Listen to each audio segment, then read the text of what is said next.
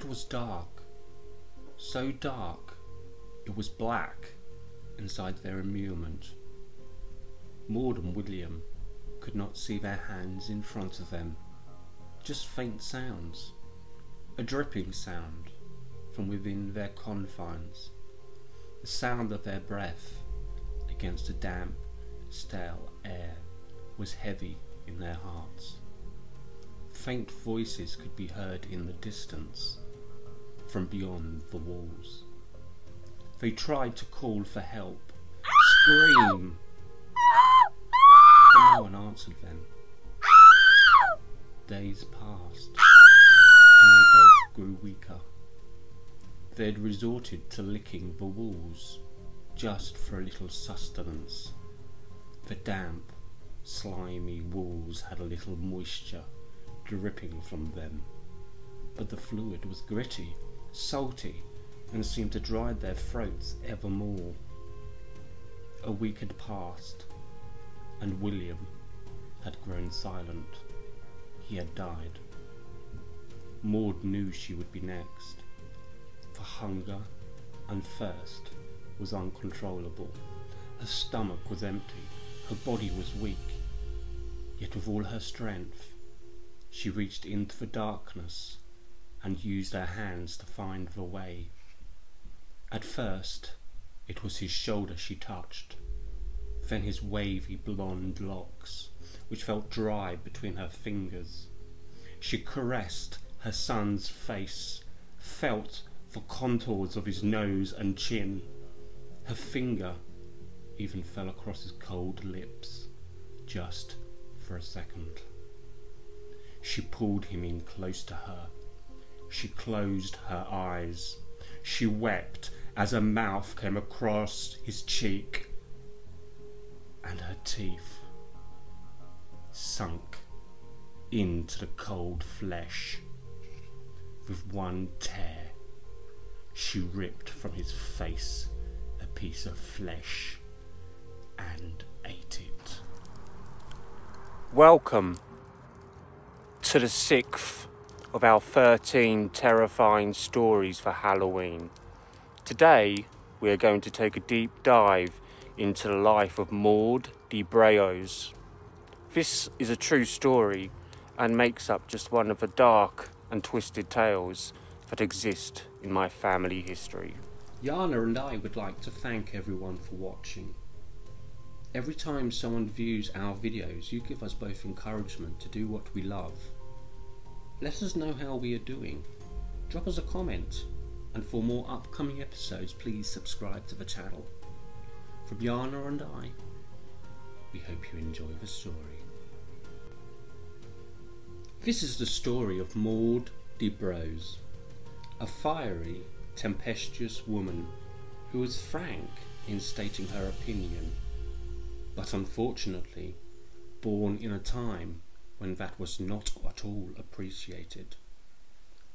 Maud offended the highest power in the land and paid the ultimate price in a truly horrible way.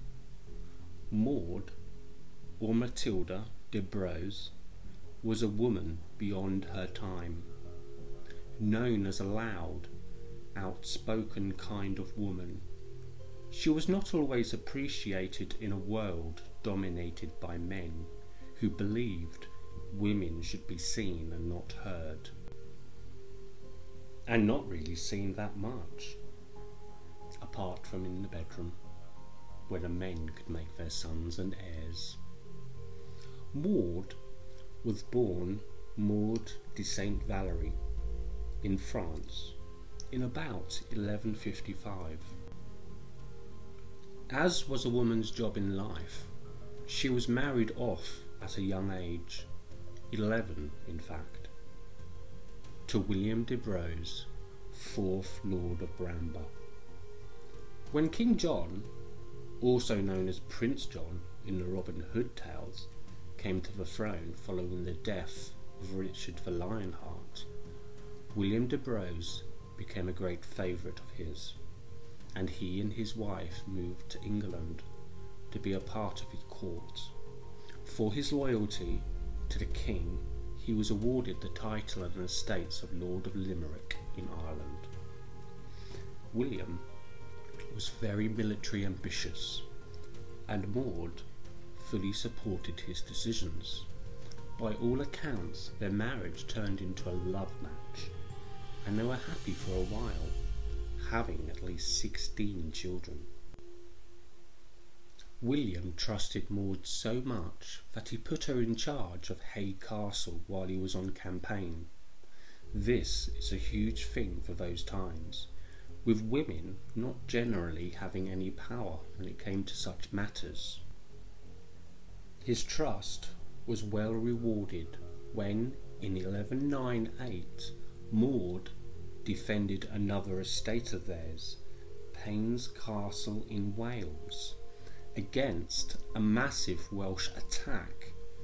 Maud was successful in holding off the enemy forces for three weeks until English reinforcements arrived. Over a thousand Welsh soldiers were killed in this siege, and the castle was then known as Matilda's Castle by the locals. King John had quite a bad reign. He was prejudiced against to begin with, as his brother was well loved by the English people even though he left the country in tremendous debt when he died. John was also untrusted by his barons and was the reason for the Magna Carta's creation, the first document forced onto a King of England by a group of his subjects in an attempt to limit his powers by law and protect their privileges. He also had a bad habit of killing his hostages including his young nephew Arthur. It is said that Maud, being the loud, outspoken individual that she was, did not hide her displeasure at the king and his ways. It is also said that the king found out what Maud had been saying very indiscreetly and fell out with Maud's husband, William, over it.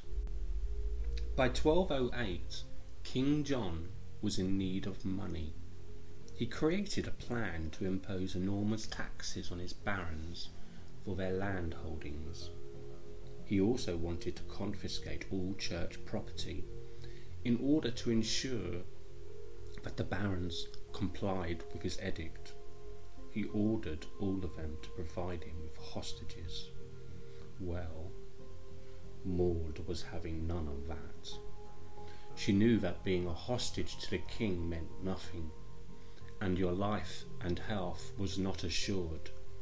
So she answered the king's messenger, saying she would not give her sons as a hostage. As the king had the unsavoury habit of murdering people, the king was angry. How dare a woman speak to him in such a way and defy his edict.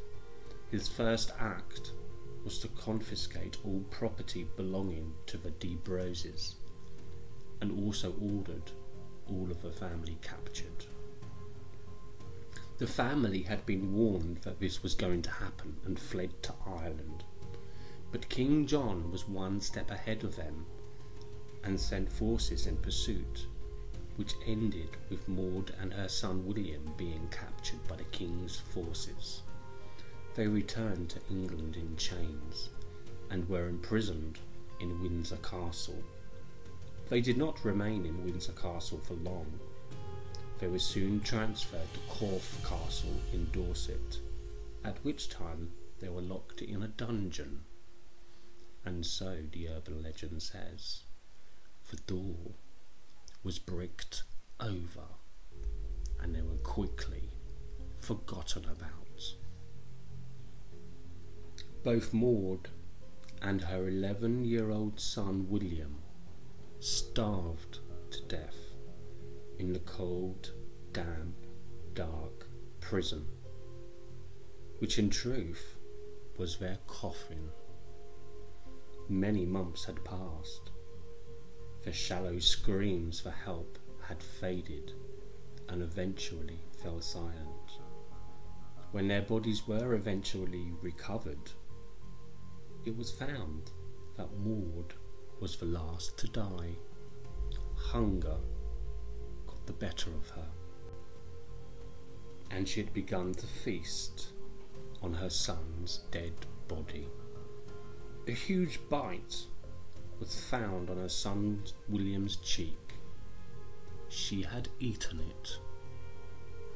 So crazed with starvation, thirst, solitude, that she turned to cannibalism. Those last few days of her life must have been unimaginable. Bricked up alive in Corfe Castle by England's most notorious king. Immurement takes its name from the Latin in, in, murus, wall, so it means in the wall, or warding in. An immured person could not expect to die quickly, for asphyxiation was generally not a risk. Instead, they would be left to die of dehydration or starvation. It was dark so dark it was black inside their immurement. Maud and William could not see their hands in front of them. Just faint sounds, a dripping sound from within their confines. The sound of their breath against the damp, stale air was heavy in their hearts. Faint voices could be heard in the distance from beyond the walls. They tried to call for help, scream, but no one answered them. Days passed, and they both grew weaker. They had resorted to licking the walls just for a little sustenance.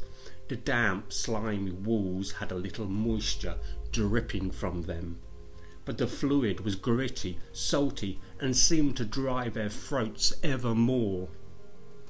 A week had passed and William had grown silent.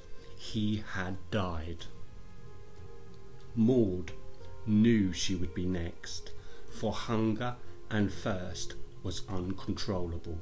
Her stomach was empty, her body was weak, yet with all her strength she reached into the darkness and used her hands to find the way. At first it was his shoulder she touched, then his wavy blonde locks, which felt dry between her fingers. She caressed her son's face, felt for contours of his nose and chin. Her finger even fell across his cold lips just for a second. She pulled him in close to her. She closed her eyes. She wept as her mouth came against his cheek and her teeth sunk into the cold flesh. With one tear, she ripped from his face a piece of flesh and ate it. It was hard for her to chew, and hard for her to swallow, but she did, and all through this ordeal she wept like she had never wept before. Maud could not do it again. She pulled his lifeless body in close to her she closed her eyes and she wished for death. She longed for it, begged for God to end her suffering. Death came.